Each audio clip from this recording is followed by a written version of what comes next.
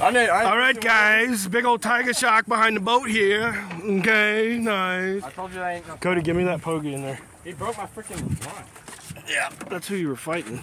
All right, guys. We're gonna feed the Ain't no way I'm tiger. that thing.